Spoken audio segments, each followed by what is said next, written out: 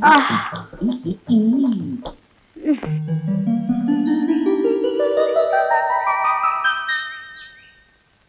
జైరత్తే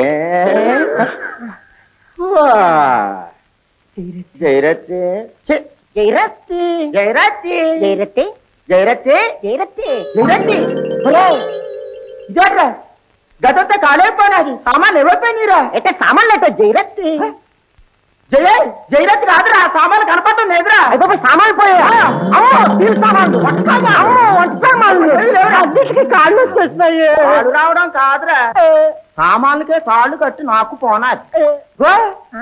మోసుకెళ్ళలేక రుబ్బురోలు పత్రం మూలను వగ్గేసి పోనాది. అమ్మా అమ్మా ఇది ఎక్కడ కేడిరా నాయను? నా సర్వీస్లో ఇలాంటి కేడిని ఎప్పుడు చూడలేదు. ఏడియో జోడియో పాట పాడినది. మన పడుకోబెట్టినది మొత్తం అన్ని మూట కట్టుకుని పోనాది. ఇంకా నయ్యం బట్టలు వేసుకుని పడుకున్నాం కనుక సరిపోనాది. లేకపోతే పొద్దున్నే లేచి ఒకళ్ళొకళ్ళు చూసుకోలేక చచ్చేవాళ్ళం. చల్లారా ఈ పూట ఇన్స్పెక్టర్ సంవత్సరంతో పాటు వచ్చేస్తున్నాడు. ఆయనకి ఏం చెప్పాలి? చెప్పు. పేరు ముందు చేయి తగిలితే ప్రతి పనికి జయం కలుగుద్ది అన్నావు కదా? అన్నానా? అన్నా. సబ్ ఇన్స్పెక్టర్ గారి పేరు ముందు కూడా జై తగిలించుకోమను ఈ పోయిన వస్తువులు అన్ని తిరిగి వస్తాయి. చేసిందా? తాళం మీదకో తాళం మీదకో తాళం మీదకో తాళం మీదకో నేక తాండవ ఆడేసినావు కదా? ఇక్కడ తాండవ ఆడుతూ కూకో. మా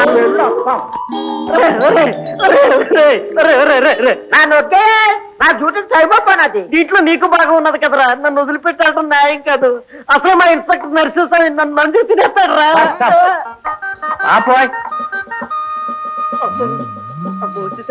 ఇప్పుడు ఏం చేయటం? నమస్కారాలు పెడుతున్నారు కాక? కాదు సార్. ట్రైన్ అప్పుడే వచ్చేసిందా సార్? ఇదేం ప్రశ్న ఇది? తిరుపతి నుంచి ట్రైన్ రాకపోతే పట్టాల మీద పాకొచ్చానంటావా? పిల్లలకి నున్నగా గుండెకి ఇచ్చేసినారే ఏ గుండు గీయించడం ఏమిటో? తిరుక్షవరం తలనీలాలు ఇవ్వటం. దర్శనం బాగా జరిగినదండి. ఓ దివ్య దర్శనం. గంటు పడకుండా నొప్పి లేని క్షవరం. గుండ్లు పిల్లలకి ఇచ్చే నొప్పి సంగతి తమకలా తెలిసింది సార్? వాట్ ఇస్ గుండ్లు గీయించి గంధం రాయగానే చల్లగా ఉందని సరదాగా దంతులు వేశారు పిల్లలు? ఆ ముడుపు చెల్లించేసినారా? చిన్నోడికి జబ్బు చేసినప్పుడు నిలువు దోపిడి ఇస్తానని మీ అమ్మగారు మొక్కుకుందిగా? నిలువు దోపిడి ఇచ్చేసింది. ఇప్పుడు మన ఇల్లు కలకల్లాడుతూ ఉంటుంది. అవును కలకలకల్లా ఆడిపోద్ది. నా డ్యూటీ టైం అయినది నా నీళ్ళు వస్తాను ఉండవా? ఏం ప్రసాదం తీసుకునేది గాని నన్ను ఇంకా తానం చేయలేదే. దేవుడు ప్రసాదానికి దేహశుద్ధి కాదు. ఆత్మశుద్ధి ఉండాలి. ఏమండి ఇంట్లో పాత సామాన్లు ఏం కనిపించడం లేదు? ఏయ్, దానికి కంగారు ఎందుకో మన వీరభద్రం ఇంటికి సున్నం వేయించాలి సున్నం వేయించాలి అని గోల పెడుతున్నాడు కదా. ఆ సామాన్లు ఎక్కడో సర్దుంటాడు. Is a sincere fellow. పై అధికారులు సేవలంటే నెత్తిన నెత్తిన నెత్తిన పెట్టుకు చేస్తాడు. ఇటువంటి వాళ్ళకి ప్రెసిడెంట్ అవార్డ్ ఉమ్, తప్పక ఏర్పత్రానికి ఏదో ఒక అవార్డు వచ్చేస్తుంది. హీ విల్ గెట్ షూ నా డ్యూటీకి టైం అన్నది నా. ఉండవా ఏ? కొంచెం కాఫీ తీసుకువెళ్ళొచ్చుగా? కాఫీ పండించు ఇంట్లో సబ్బు కాఫీ గిన్నెలు కూడా లేవండి. అమ్మాయి కూడా అవి కూడా తీసుకెళ్ళి జాగ్రత్త పెట్టాలట ఓయ్ ముందు వెళ్ళి ఆ స్టవ్ను కాఫీ గిన్నెలు తీసుకొచ్చి ఇక్కడ పెట్టేసేయ్. తర్వాత చూసుకుందాం. సార్, కొత్త స్టవ్ కాఫీ గిన్నె కొనాలంటే ఎంత అవుతుంది సార్? కొత్త గిన్నెలు స్టవ్లు కొనడం ఎందుకు? పాత వాటి మీదే కాస్త పసుపు నీళ్ళు చల్లుకుంటే సరిపోదు. సార్, చిన్న పొరపాటు జరిగిపోయింది సార్. ఊరుకోరా చిన్నదాంత పెట్టి పెద్ద పొరపాటు జరిగిపోయింది ఏమిటో? ఏముంది బాబు నేను ప్లాట్ఫామ్ మీద పిల్ల కనపడినది. ఒళ్ళున్నది వయసు ఉన్నది ఒంటి నిండా నగలు ఉన్నాయి చేతిలో పెట్టున్నది. అన్నట్టు ముక్కుకు మత్తు ఉన్నది బాబు. ఆ, ఎవరో పెద్దంటి పిల్ల ఉంటుంది. మేము అలాగ అనుకున్నామండి. తనకు అన్ని ఉన్నాయి కానీ రేత్రాలు బస చేయడానికి చోటునాక చేసినది మనోడు జాలిపడి మన సార్ గారు నేరుగా ఇంట్లో పెడదామా అని అన్నాడు. మధ్యత్వంగా నాటేడిపోతుంది అని చెప్పేసి సరే అన్నాను అంచుబాబు. మా వీరభద్రాన్ని చాలా కాలం నుంచి కనిపెడుతున్నాను. ఇతంది జాలిగుండే సహాయం చేసే గుణమును. మనిషి అన్న వారికి రెండు ఉండి తీరాలి. ఉండాలండి ఉండబట్టే కదా ఆ పిల్లని మన ఇంటికి తీసుకొచ్చినాడు. పొద్దున లేచి సూత్యం కదా ఆ పిల్ల నేటండి. మిమ్మల్ని లేపడం ఎందుకని ప్రొద్దున్నే ఐదు గంటల ట్రైన్కి వెళ్ళిపోయి ఉంటుంది. వెళ్ళిపోవడం తప్పు కాదనుకోండి. ఇంట్లో ఉన్న సామాన్లన్నీ దోచుకుపోదాదే ఏమిటి? నా ఇంట్లో సామానంతా దోచిపోయిందా అవును సార్. అసలు ఎలా ఉంటుందో అది? చాలా అందంగా ఉంది సార్? అందమైన ఆడది కనిపిస్తే ఒళ్ళు మర్చిపోతావా? పోలీసు డిపార్ట్మెంట్ ఎలా ఉండాలి? స్ట్రిక్ట్ అండ్ డిసిప్లిన్గా ఉండాలి. ఎప్పుడెందుకు అంత అయిపోయిన తర్వాత నేను డిస్మిస్ చేస్తున్నాను ఏ అప్పకుండా సార్. కాస్త నీళ్ళు చల్లువాయి మళ్ళీ ఇది కూడా చుట్టుకుంటుంది. నా నెత్తనే నా నెత్తనే. చల్లు నాయన. అలాగే సార్. చల్లు బాబు చల్లు. చల్లుతా నా చెల్లెల జీవితం చెదిరిపోయిందని ఎన్నాళ్ళు కుమిలిపోయాను. కానీ డాక్టర్ ఆనంద్ దాన్ని ఎంతో అందంగా తీర్చిదిద్దాడు. ఇప్పుడు నాకు చాలా మనశ్శాంతిగా ఉంచానికి ఇక నేనేమైపోయినా నాకు బాధ లేదు. నిజమే. నీకేదైనా అయితే బాధ ఉండేది నాకు. బ్రతకలేకపోయేది నేను. ఏమండి? ఇంతకాలం జరిగిన సంగతి దాచిందెందుకు? అది తెలిస్తే మీ చెల్లికి పెళ్ళి కాదనిగా ఆమె జీవితాంతం కన్నిటితో ఉండిపోతుందనిగా. అవును. కానీ ఇప్పుడు లక్షణంగా ఆమెకు పెళ్ళైంది. జరిగిన సంఘటనలు తెలిసి కూడా ఆమెను దేవతలా చూసుకునే భర్త దొరికాడు. ఇక ఆ రహస్యం దాచడం ఎందుకు కోర్టులో చెప్పి శిక్ష నుంచి బయటపడచ్చుగా. జానకి చిరిగిన చొక్కా అని తెలిసి కూడా పర్వాలేదని అందుకోవచ్చు.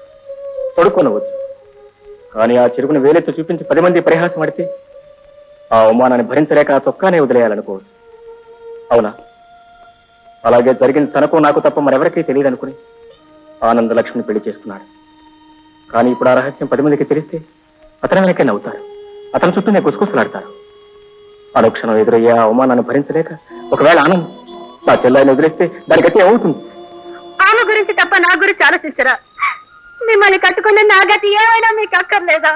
జానకి ఆలోచించి ఆ రోజు మూడు ముళ్ళు వేయనన్నాను ఈ రోజు వస్తుందని ఊహించే పెళ్ళి చేసుకున్నాను. నన్ను విడిచి వెళ్ళిపోమని నిన్ను బ్రతిమలాడాను. కానీ నువ్వే వెళ్ళలేదు. ఏమంటి? ఆడది ఒక్కసారే ప్రేమిస్తుంది. ప్రేమించిన వాడికే బ్రతుకు అర్పిస్తుంది. ఆ మనిషిని కాపాడుకోవడం కోసం ఆఖరి దాకా పోరాడుతుంది. మీకు మీ చెల్లెలెంత ముఖ్యమో నాకు మీరు అంతకన్నా ముఖ్యం. ఏమైనా సరే మిమ్మల్ని నేను దక్కించుకుంటాను. జానకి మళ్ళీ హెచ్చరిస్తున్నాను. నన్ను రక్షించుకోవాలని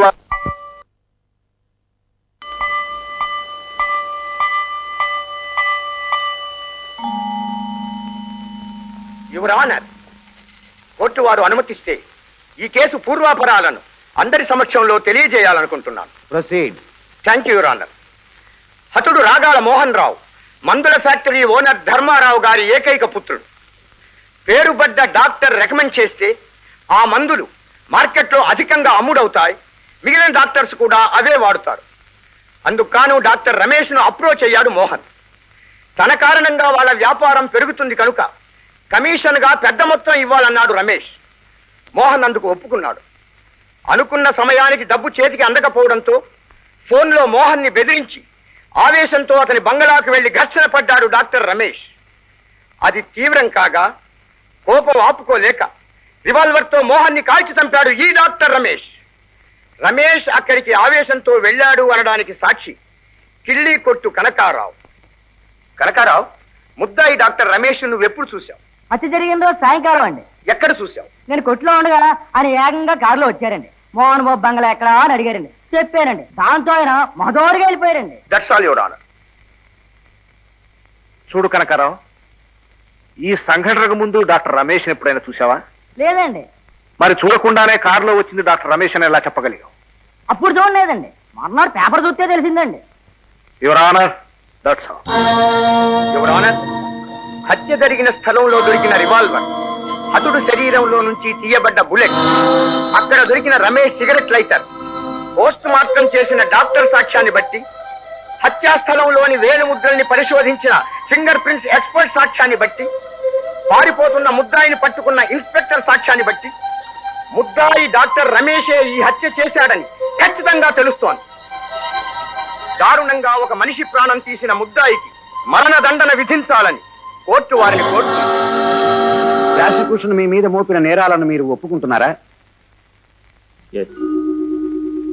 కేసుకు సంబంధించి మీరు ఏదైనా చెప్పాలనుకుంటున్నారా.